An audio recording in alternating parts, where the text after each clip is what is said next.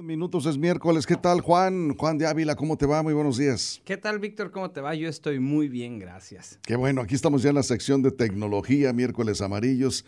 ¿Qué tema nos tienes hoy? Pues un tema interesantón. Eh, ahora, eh, YouTube va a tener, se ve en la obligación de retener hasta el 30% de los ingresos generados por los videos. Es decir, las personas que hacemos videos de YouTube que cumplimos ciertas condiciones, entre ellas tener más de 1500 suscriptores, YouTube de alguna manera te empieza a pagar. A veces mucho, a veces poco, pero lo que sí es un hecho es que a partir de junio de este año, pues si no, si no te apegas a, unos lineamientos, que hay un truco ahí eh, del Tratado de Libre Comercio. Del cual tú nos vas a platicar. Que ahorita les voy a decir ah, cuáles son. perfecto. Eh, te, te, van a retener el, hasta el 30%. Porque en redes sociales estaban diciendo, no, es que YouTube va a cobrar el 30% y YouTube va a cobrar impuestos. No, YouTube no cobra impuestos, simplemente tiene la obligación de retenerte hasta el 30% de lo que generas. ¿Y cómo le haces para que esto no pase? Es muy sencillo. A ver. Hay dos artículos y dos párrafos del Tratado de Libre Comercio que nos ayudan a que solamente se nos retenga el 10% porque hay una cláusula ahí de doble tributación que es parte del Tratado de Libre Comercio. Entonces, simplemente es entrar a tu cuenta de AdSense, que ya tengo un tutorial de todo esto ahí en mi canal de YouTube, pero se los explico cómo va.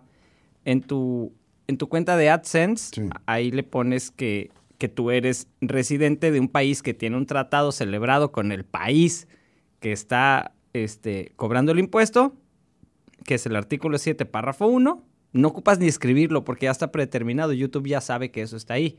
Entonces, eh, pues, lo seleccionas y ya. Ah, ¿te parece? Y lo seleccionas. Sí, gracias a eso, entonces ahora va a retener a partir de junio el 10%. Ojo, es solamente para los creadores de contenido que están en México o en cualquier país que tenga celebrado un tratado de libre comercio con Estados Unidos y solamente te van a cobrar por los videos que se ven en Estados Unidos. Entonces, eh, la verdad es que no va a afectar tanto a tantas personas, pero pues ya sabes, las redes sociales se encargan de magnificar todo. Eso es. A ver, entonces, eh, por ejemplo, de todos aquellos que tienen más de 1500 suscriptores. Si todos los que están monetizando en su canal o tienen un partner de YouTube que, recibimos algún ingreso eh, por, por visualizaciones, sí pues ahora nos van a cobrar. En mi caso, nos van a retener el 10% porque yo ya hice este trámite. Quien no lo haga. Ah, tú ya hiciste el trámite. Sí, es que te toma tres minutos. Explícanos de nuevo, por favor. Entras a tu página de AdSense con tu cuenta y llenas un formulario con tu nombre. los youtubers famosos ya lo saben, ¿no? Tiene más asesores, pero algunos que no son, digamos, tan, o que van... Que van empezando, que tienen apenas, que, que, acaban de empezar a cobrar. Bien. Este, solamente llenan el formulario de AdSense y seleccionan el artículo 7, párrafo 1 y seleccionan el artículo 12, párrafo 2. Te repito, no tienen que escribirlo, simplemente lo seleccionan porque ya está ahí. O sea, YouTube ya sabe quiénes estamos en México y quiénes no. Y de esa manera, pues te ahorras eh, una, gran parte de la retención y te queda solamente el 10%. Te ahorras... del 30 eh, al 10 entonces. Del 30 al 10, exactamente. Te ahorras un 20%. Sí. Muy bueno. Muy bueno, sí. Muy bueno. ¿Todo esto lo tienes ya en, tus eh, videos de YouTube? Hice un tutorial este, el, fin de semana. Lo que pasa es que esta noticia salió la semana pasada, pero hasta el sábado tuve tiempo de entrevistarme con un contador y con alguien que entiende el, tema este del, del Tratado de Libre Comercio y me lo explicó. Entonces ya por eso hice el tutorial, porque si no, pues no, no iba a saber perfectamente qué estaba hablando y así no se vale. Muy bien, pues muy oportuno, muy buena sugerencia. y antes de que te vayas, por favor, tus, eh, tu WhatsApp, porque ya me están llegando aquí WhatsApp, ya te están reportando aquí preguntas sobre teléfonos celulares. Ahorita te paso unas dos, pero pásanos el WhatsApp primero, por favor. Mi número es 6677967719.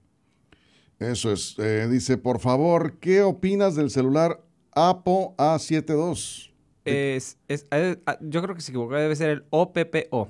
Perdón, yo me equivoqué. Es O P O. Así. Oppo. A72, ¿de qué, qué marca es esta? Eh, pues es una marca nueva que es como del estilo de Huawei o de Xiaomi. Está bien, o sea, nada más les recomiendo que siempre se compren un celular que tenga mínimo, mínimo 64 GB de memoria interna, porque WhatsApp almacena todo en la memoria interna.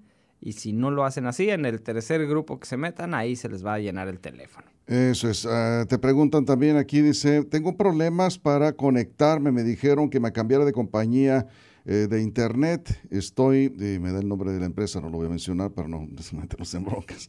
Eh, dice, eh, pero nunca había tenido problemas con el internet. Para conectarse vía Wi-Fi, vía o sea, para conectar Yo supongo pues conectarse vía Wi-Fi, que es pues, lo más común. Que me manden el mensajito y lo vemos a detalle. Les voy a repetir el número, es el 6677 96 19. Y aprovecho también para esta semana pasada también a muchísimas personas, como que en el puente los hackers se pusieron a chambear y muchos, muchos, muchos de mis contactos de, WhatsApp me mandaron la misma imagen. Oiga, su cuenta de Microsoft o de Hotmail o de Outlook va a caducar, tiene que actualizar sus datos. Entonces, no es cierto. No es cierto. Ayer ya les hice un, video y lo puse ahí en mis, en ahí estás en tus redes sociales, ¿no? sí. En, YouTube, en Twitter, en Instagram y en WhatsApp.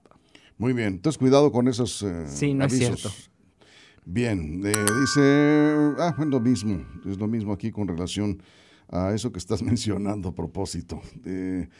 Avisos, dice, de bancos también, recuerden eso cada miércoles, por favor, dice, de, los bancos se están enviando muchos mensajes.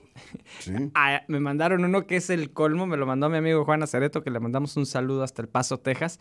No sé si era cierto o ya de plano es meme o broma, porque dice, oiga, tiene usted un problema con su cuenta en Banjército. Entonces le contesta a él, oiga, yo no tengo cuenta en Banjército. ¿Y dónde tiene cuenta? No, pues en Vancomer. hombre. Ah, somos de Vancomer, perdón, me equivoqué. O sea. Qué chafas de plano. Súper chafas, súper chafas. Pero hay que estar muy atentos. Los bancos no piden NIPS, no piden tarjetas, no piden nada. Ante la duda, mejor vaya al banco. Eso es. Eh, te preguntan sobre el, celular Xiaomi. Eh, el M3, poco M3. Eh, el, Xiaomi, a mí, a mí la marca Xiaomi me gusta mucho. Son teléfonos hechos con muy buena calidad. Desgraciadamente, Donald Trump en los últimos 15 minutos de su presidencia los incluyó en la lista negra, entonces están un poquito en la misma situación que Huawei, que seguramente esta administración los va a sacar de ahí porque, porque pues, no tendrían por qué estar en ese problema pero la verdad es que súper, súper recomendables. Yo, yo, yo he comprado teléfonos de Xiaomi, he usado teléfonos de Xiaomi y son muy, muy buenos. Muy bien, Juan. Pues como siempre, muchas gracias, Juan. Por acá te esperamos el próximo miércoles. Víctor, muchísimas gracias a ti, al público que nos hace favor de escucharnos. Y ahí te seguimos en las redes sociales. Gracias. Gracias. Juan de Ávila. Bien, vamos.